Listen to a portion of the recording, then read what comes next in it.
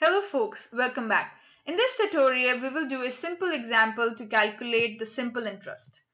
And before jumping into the example, I will explain you what I'm going to do in that example. So I wanted to calculate the simple interest. The formula to calculate the simple interest is principal into rate into time divided by 100. That's the formula to calculate the simple interest.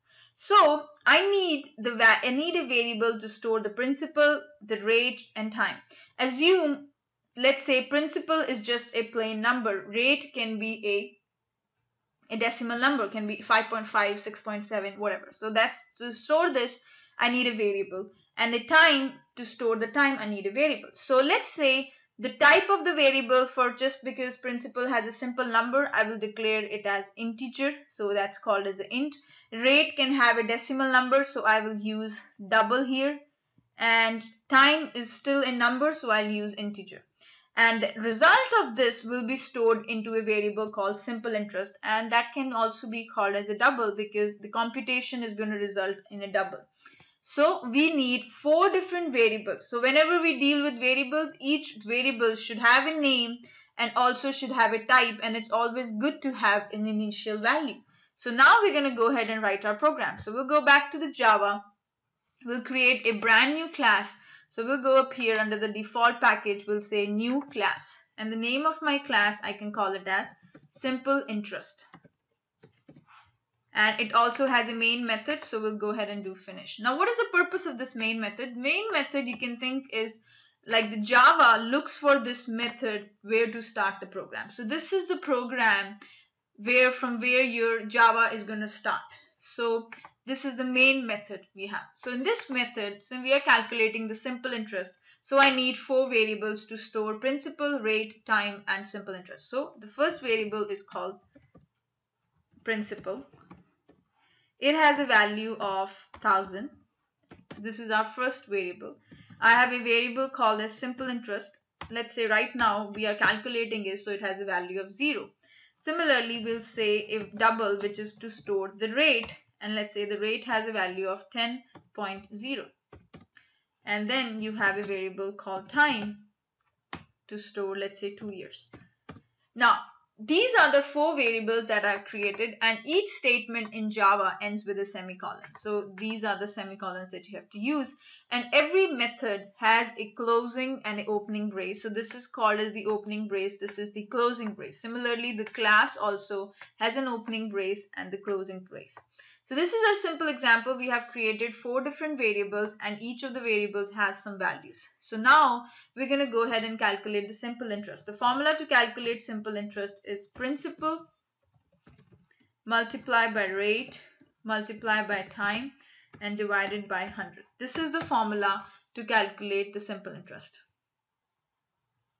So now we're going to go ahead. Okay, so now in this case, it has to be double because the output that is going to come as a double. So we're going to go ahead and make it as a double.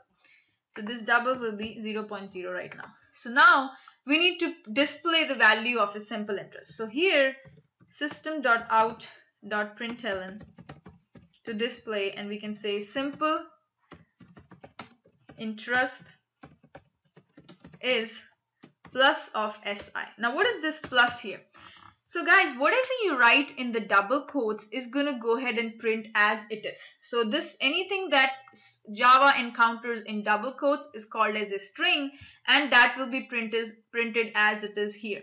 Now you are this is a concatenation operator means you're adding two different things. You're adding a string with an, another string or you can say another another variable. So here si is without the double quote so this is not a string a regular string here. So if java looks for this si he will because its si is without the string he will look for the variable called as si which is this variable. So this is the value of the variable si and this is how it's going to go ahead and print it. So now in this case the simple interest is and plus means you're adding these two parts of the program. You're adding the simple interest and the SI value. So what is the value of the SI? That is equals to the value you compute from here. So now we're going to go ahead and run the program. So here I'll say run as Java application. So we're going to go ahead and say simple interest and this is the output of the program. So if you look at it, simple interest is this part has printed as it is and SI this is the actual value that it computed and calculated. Now if you don't use if you write SI with with this uh, double quotes means if you move everything together now this whole thing will be considered as a string and it will be printed as, as it is. So if you run the program now, it will print the whole thing as a string. It won't see that, okay, this SI, we are talking about the variable. So if you go ahead and run the program, it's going to print the whole string as it is. So here, if you run it, run as, we're going to say Java application and it's going to say simple interest is SI.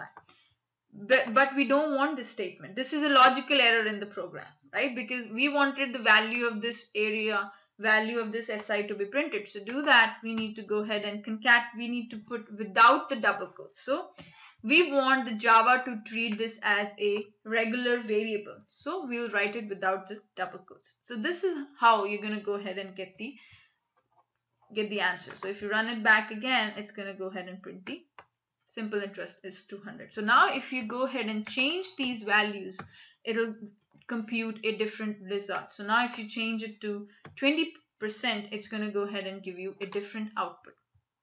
So this is our another example. You can do the same example. I will give you an assignment. We, I will request you to go ahead and do those assignments to practice more.